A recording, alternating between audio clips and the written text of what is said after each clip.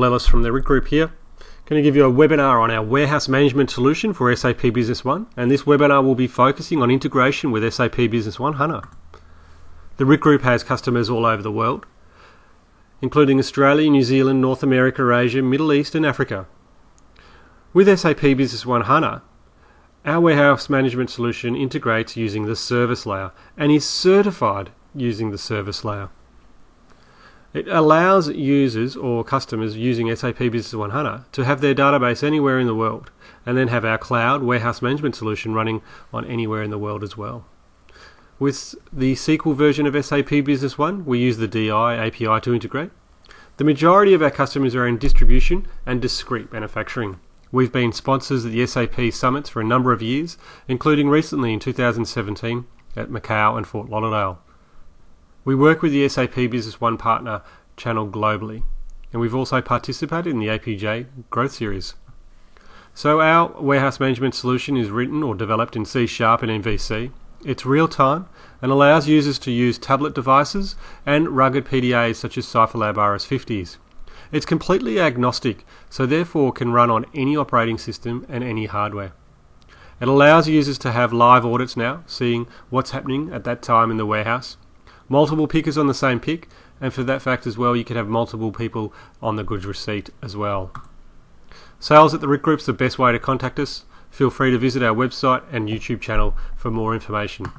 So, firstly, we have our HANA running in Oregon, uh, USA. So, it's in a completely different AWS server, and um, what we have is our warehouse management solution here running on a completely different IIS. So, both solutions are running in the cloud. And what I want to do is create a sales order in uh, SAP Business One HANA, and I also want to create an inventory transfer request and show you how those two documents come across into uh, the solution, the warehouse management solution. So firstly, I'm going to create a sales order. So once I select the customer and then select the delivery date, I can select the items. I'm just going to select two items here. I've got two items. Um, I could choose a different quantity if I wish and then add that. So now that you see sales order 558 has been created. Now I could right click and say generate pick list. But what I want to do is go into the pick pack manager and generate the pick list that way. Now I've selected my date I've got sales orders and transfer requests. And I can see it's 558 there and I can release. At the moment, what we've got is our warehouse management solution. It's going to pick the sales order or the transfer request, or the reserve invoice or production order if I released it. And it's going to just send it back and fulfill the pick document. It's not going to automatically create the delivery document for this webinar.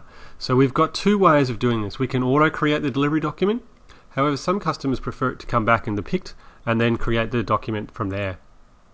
So once I just generate this and we go into released, you'll see that 298 pick number has been created 558. So if I go into the warehouse management solution and refresh on picking, you can see that 298 has come across instantly. So the software here goes and looks up through um, the service layer to the SAP Business One HANA database. So if I scan the items A001 and A03, it will automatically increment in the pick quantity. I could also scan the bin locations that I'm picking uh, the item from. I'm just going to select the item manually and drive into the item manually.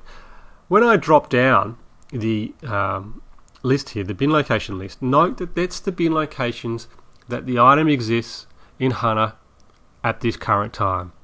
So if I select a different bin location, you can see here quantity on hand completely updates in real time. So I'm going to add that and say that I've picked two. Again, if I was to scan the item, it will automatically put in the audit below. Click Next. And then I'm going to add here as well, and I'm going to choose uh, L02. So I've chosen a different bin location that the, uh, the pick list um, generated. And once I go back to auto pick lines, because it's automatically been fulfilled, it sends it back to SAP Business One straight away. So we'll go back into SAP Business One. So we had, um, you know, 298 as the document. And now I can go across to pick now, and now I can see that 298 has come across. If I just use the golden arrow to open it up, I can come across and I can see that not, not only has the pick quantities come across according to what we picked in the warehouse management solution, but I've also updated that second line to the pick or the bin location that we've picked the item from. So now the user can create the delivery. So the second part to this webinar is inventory transfer requests.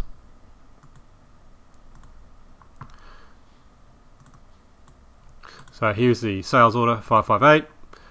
We've picked, we send back the pick list and then creates a delivery and you can open up the delivery and come across um, you know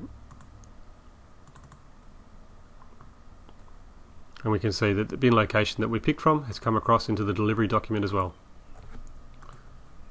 So let's go into inventory transactions, close the sales order, and we can go into inventory transfer requests. So we've got a document, we can see that it's created, but what I want to do is transfer an item. Uh, select the first one. If I scroll across, you can see that I'm creating a transfer request and I want to send it to another warehouse. So I know that zero uh, should be zero two.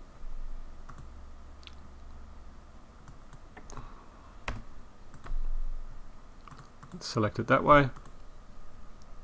So I'm selecting the 01 item and I want to select it from the one warehouse 1 to warehouse 2 and I can say add. So if I have a look at that transfer request, it's open. I can see that. So I can now drive into the Pick Pack Manager. And once I drive into the Pick Pack Manager, I've got it selected on transfer requests as well.